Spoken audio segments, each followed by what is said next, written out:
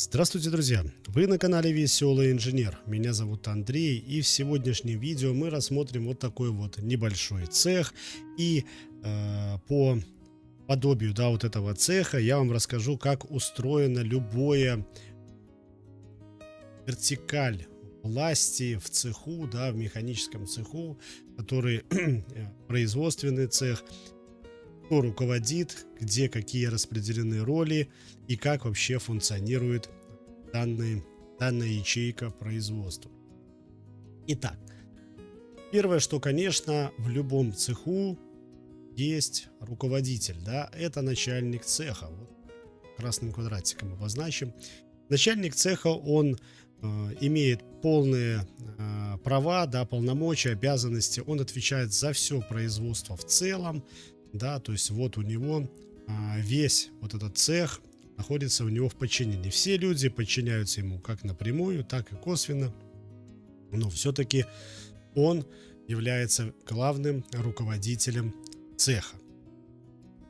Дальше. Как бывает э, часто, давайте зеленым цветом, да, в цеху есть заместитель начальника цеха по производству. То есть э, само название должности да, говорит о том, что данный человек отвечает за выпуск продукции, он отвечает за то, чтобы вовремя была продукция изготовлена, да, а, вовремя была отгружена, все процессы, которые происходят в производстве, что касается рабочего персонала, а, расстановка людей на позициях, за все это отвечает замначальника цеха по производству. Конечно, напрямую он во многих процессах не участвует, но у него есть в подчинении мастеровой состав, начальники участков или так называемый линейный персонал, который э, подчиняется ему и э, коммуницирует уже непосредственно с исполнителями всех процессов, которые происходят в цеху.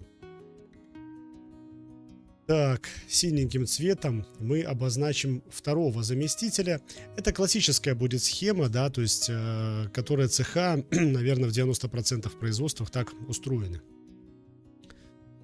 А, заместитель начальника цеха по а, техническому обеспечению, да, или как раньше их называли, а где-то еще до сих пор называют, а, заместитель начальника цеха по подготовке производства. Данный руководитель, э, у него в, э, в подчинении службы, ремонтные службы, служба энергетика, служба механика и в том числе и где-то напрямую, а где-то функционально подчиняется технологическое бюро. Данный заместитель отвечает за э, ремонты всевозможные оборудования, за обеспечение рабочих мест инструментом режущим, за обеспечение различными смазочными материалами, а, все, что нужно по операционной норме расхода, да, существуют какие-то материалы, а, за вовременную их поставку, за их качество, а, за, в общем, техническое обеспечение, как его должности звучит производство, отвечает за начальника цеха по техническому обеспечению производства или по подготовке производства. Почему по подготовке производства раньше занимался? Потому что, чтобы все функционировало в цеху, естественно, надо подготовить производство, надо расставить оборудование, да, согласно планировочному решению, которое мы сейчас видим, да. Его нужно подключить, а, запитать ко всем энергоносителям а, всевозможным, и тогда это производство сможет работать. Конечно, там должна быть вся необходимая технологическая оснастка, режущий инструмент и многое-многое другое. Подготовка производства в том числе, что когда заходит на, в данный цех какие-то новая продукция, которая ранее не обрабатывалась, то, естественно, все техническое сопровождение обеспечивает вот этот заместитель начальника цеха по подготовке производства. Также зачастую охрана труда, которая безопасность обеспечивает работников в цеху, за нее тоже отвечает замначальника цеха по техническому обеспечению.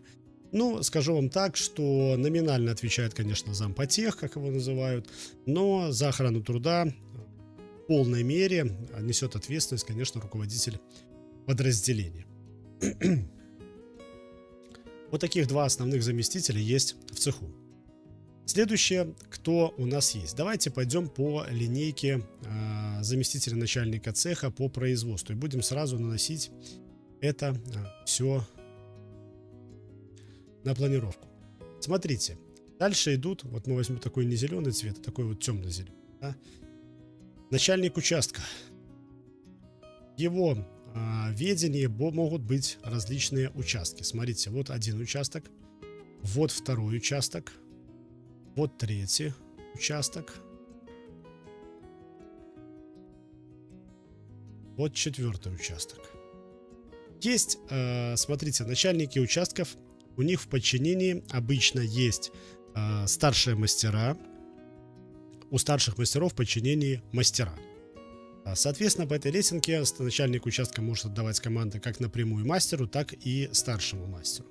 Старший мастер э, дает команды только мастеровому составу или рабочим. Ну, начальник участка ему подчиняются все, э, так сказать, ниже стоящие. То есть, получается так.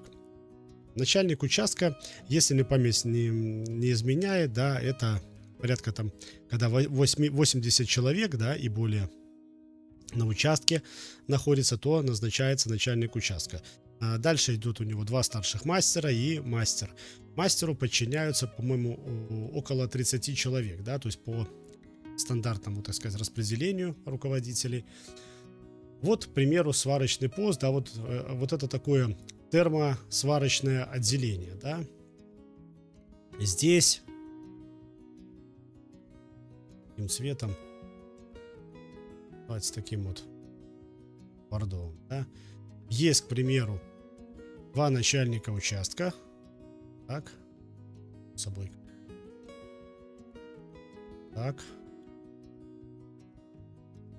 Вернее, два начальника, два старших мастера.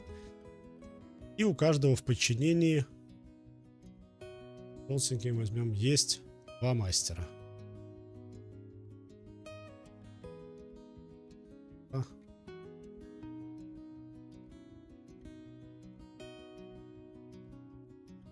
Здесь э, я вот на одном участке это указываю, то же самое будет и на всех остальных участках. То есть вы понимаете, что есть заместитель начальника цеха по производству, у него есть начальники участков, то есть в данной планировке это раз, два, три, четыре участка, может быть три, вот эти сварочные могут быть одним участком, ну неважно. 4 начальника участка, у каждого есть старшие мастера, у каждого есть мастера. Может быть, начальник участка иметь, допустим, э, сразу под собой мастера или старшего мастера и не иметь мастерового состава. Все зависит от количества людей и вообще от специфики производства, то есть что производится, сколько смен производится. То есть понятно, что два мастера, это, допустим, если у вас две смены. Если у вас три смены, у вас как минимум должно быть три мастера, потому что в каждой смене должен быть э, руководитель обязательно. Еще у замначальника цеха, помимо э, начальников участков, у него в подчинении находится производственно-диспетчерское бюро. Давайте желтеньким обозначим. Здесь вот как раз есть склад, да. И производственно-диспетчерское бюро, оно в принципе охватывает, кроме склада, да, э, оно охватывает весь цех. Потому что начальник ПДБ, так называемый, да, то есть есть э, начальник ПДБ, у него в подчинении в основном это начальники смены ему подчиняются, да. То есть в зависимости сколько смен, если две смены, то два начальника смены у него в подчинении. У них э, грузчики, диспетчера в подчинении. Почему весь цех? Потому что э, производственное диспетчерское бюро отвечает за перемещение, да, то есть э, за перемещение деталей, как на участках, да, так и выход их из цеха, так и приход заготовки. За все это отвечает э, начальник ПДБ. То есть он это все контролирует, учет деталей, то есть их движение вместе, конечно, с мастеровым составом, с начальниками участков и другими линейными руководителями. Вот такой вот охват идет у замначальника цеха по производству. А дальше переходим к замначальнику цеха по техническому обеспечению. А, здесь службы не обозначены, ну, к примеру, вот предположим, что у нас здесь есть служба служба механика вот располагается, да. И, к примеру, служба энергетика. То есть это служба, которая механик, естественно, отвечает за ремонт э, механической части технологического оборудования. Энергетик или он же начальник участка а, отвечает за ремонт электрической и энергетической составляющей технологического оборудования. Они подчиняются замначальнику цеха по техническому обеспечению.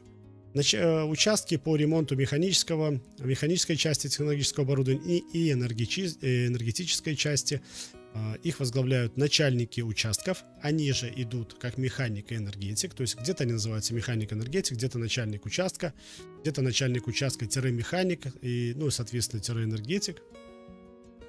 И э, обычно у них в подчинении еще э, есть мастер – мастера службы энергетика и, соответственно, а, мастер службы механика. А, служба в основном работает в две смены, а, где-то, может быть, три, в зависимости, как работает цех, да, сколько сменность, какая работа. Но, в принципе, вот такая структура, то есть начальник участка, он же механик или энергетик, и мастер вполне достаточно. Замначальнику цеха по техническому обеспечению также подчиняется а, техническое бюро, да, то есть, ну, здесь у нас его на рисунке нету, потому что, ну, техбюро обычно в цеху не находится, оно находится где-то в административной части, да, вот мы вот так здесь вот начертим, да, вот, допустим, техбюро, оно тоже будет подчиняться э, замначальнику по техническому обеспечению производства. А, напрямую обычно техбюро подчиняется техническому отделу или главному технологу в зависимости от э, величины предприятия, устройства предприятия. А, может быть как отдел, так может быть и управление да, главного технолога. Но функционально а, техчасть в каждом цеху привязана своя техчасть, которая обслуживает только данное подразделение. Вот так укрупненно я, в принципе, вам показал, как устроен любой, э, любой цех, технологический цех по производству продукции. Он может производить любую абсолютно продукцию, но устройство, ну, наверное, 90% будет совпадать вне зависимости от специфики производимого товара. Если остались какие-то вопросы, обязательно пишите в комментариях, я на все отвечаю. Не забывайте подписываться на социальные сети, там тоже много интересного. Всем добра. Пока-пока.